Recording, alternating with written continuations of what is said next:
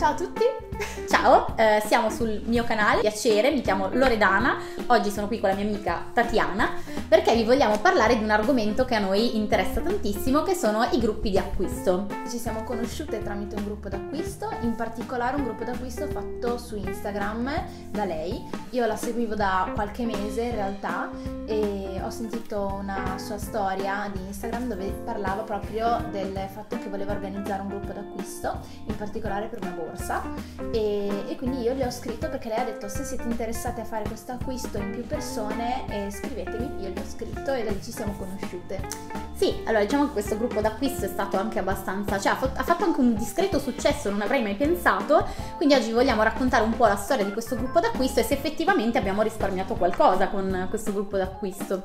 Che cos'è un gruppo d'acquisto? Allora, spieghiamolo subito, un gruppo d'acquisto è un gruppo di persone che si riunisce per fare un ordine eh, collettivo su un sito eh, o da un supermercato o anche da un produttore locale. E questo serve di solito a risparmiare innanzitutto un po' di soldi perché eh, spesso gli ordini collettivi hanno degli sconti particolari, magari raggiungendo una soglia di spesa il sito o il produttore mette eh, in palio tra virgolette uno sconto, quindi già questo è un motivo per partecipare ai gruppi d'acquisto. Inoltre eh, si riduce anche il proprio impatto ambientale perché?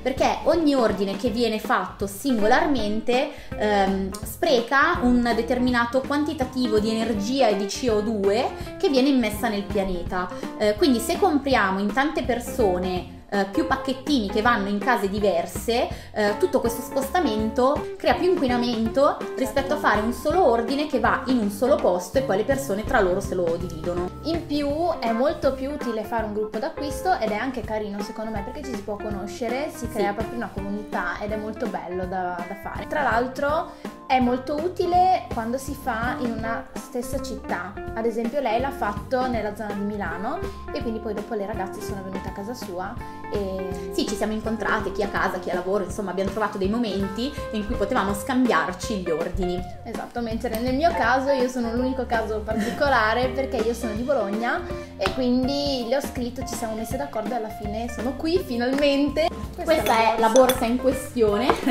della marca. C'è ancora l'etichetta perché lei la sta ritirando oggi da, da agosto, praticamente eh, siamo sì. a dicembre. e lei sta ritirando adesso la borsa. Però in realtà eh, abbiamo scelto questa marca perché si chiama Barry Handbags.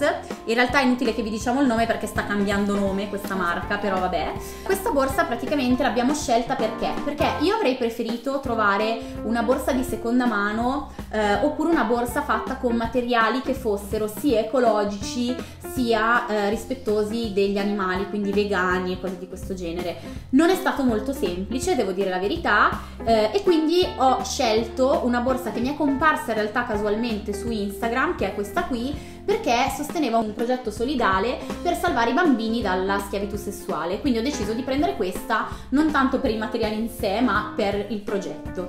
E quindi, siccome poi è piaciuta anche a Tatiana, eh, deciso, sì. abbiamo deciso di comprarla assieme. Qualcuno ha comprato un portafogli, qualcuno ha altri mm. tipi di borse, e noi esatto. invece, guarda caso, abbiamo deciso di scegliere la stessa borsa. Quindi sì, ce l'ho io e ce l'ha anche sì, lei. Neanche farlo apposta, ci è piaciuta la stessa borsa e abbiamo preso questa. Esatto. Comunque ve ne parliamo meglio poi nell'altro video, vi spieghiamo anche perché. Andate poi sul mio canale che vedrete vedrete sul suo canale, certo, che poi trovate sotto e tutto, sapete già, tanto se siete utenti di YouTube voi lo sapete, dove andare a cercare le informazioni. Poi alla fine dobbiamo dire anche questa cosa, cioè noi in realtà non abbiamo risparmiato con questo gruppo di acquisto. Assolutamente. e ora vi spieghiamo anche perché, in modo che se voi decidete di organizzare dei gruppi d'acquisto non fate il nostro stesso errore. Mi piaceva l'idea di fare il gruppo d'acquisto, ma eh, ero ancora un po' digiuno di queste cose, perché io ho sempre ordinato solo per me stessa prima di questo gruppo e quindi non avevo idea che poteva succedere quello che è successo a noi, cioè eh, abbiamo fatto questo bel gruppo per dividerci le spese, per pagare di meno e tutto quanto, però questa marca era una marca americana, quindi la borsa è arrivata dall'America, abbiamo pagato un botto di spese doganali, perché gli ordini che superano un certo importo sono molto più soggetti ad essere controllati dalla dogana. Il problema è stato che poi con queste spese doganali c'è stato proprio un salasso perché sono arrivati tipo 150 euro di spese doganali, quindi il nostro consiglio è se decidete di fare un gruppo d'acquisto acquistate all'interno della zona euro eh, evitia- evitate di prendere cose dall'America o da paesi in cui ci potrebbe essere una tassa doganale perché rischiate di perdere l'utilità del gruppo d'acquisto. Quindi in questo caso il gruppo d'acquisto non è servito tanto, però abbiamo deciso di condividere la nostra esperienza per aiutare anche chi volesse farne in futuro a non fare il nostro stesso errore. Anzi, eh, come vi potete organizzare per Esatto, fare un come gruppo d'acquisto? un gruppo d'acquisto. Ci sono vari modi. Eh, in realtà l'importante è raggruppare delle persone che sono interessate a comprare quello che decidete eh, di comprare voi. Quindi possono essere, non so, gruppi condominiali, ci sono persone che fanno la spesa di condominio con i gruppi Ci d'acquisto. sono gruppi Facebook, lei appunto ha creato il modo di farlo anche su Instagram, quindi attraverso una storia Sì, oppure attraverso un post. E anche attraverso YouTube stesso si potrebbe provare ad organizzare, Certo. magari proprio anche voi che ci state guardando, se siete interessati potete proporlo sotto nei commenti, poi magari nel caso noi vi, vi reindirizziamo da qualche parte. Stavamo pensando di creare un gruppo di Facebook dove chiunque eh, di voi abbia voglia di fare un gruppo d'acquisto può scrivere e può proporre il suo gruppo d'acquisto. Nella sua zona, per Esatto. esempio. Fateci sapere nei commenti se vi può interessare, noi apriamo questo gruppo. Ci Esatto. farebbe davvero tanto piacere. Mm, Poi un'altra cosa da ricordare, i gruppi d'acquisto non servono solo per comprare borse o comunque oggetti che non ci servono tutti i giorni, sono anche molto utili per comprare il cibo, la frutta, Sì. la verdura.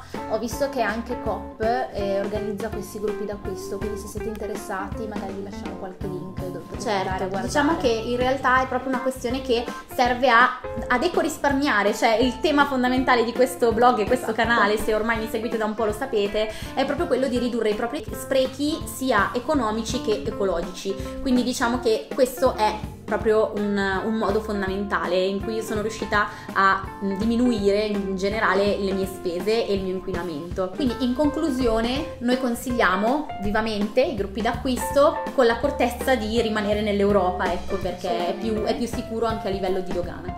Assolutamente. Se vi interessa seguirci, comunque noi vi faremo sapere anche sui social quello- come si svilupperà questo progettino, questa idea, quindi continuate a seguirci e fateci sapere perché più feedback abbiamo, più riusciamo a capire come eh, aiutarvi ad ecorisparmiare. Quindi ci vediamo sul suo canale e eh, alla prossima. Alla Ciao! prossima. Ciao.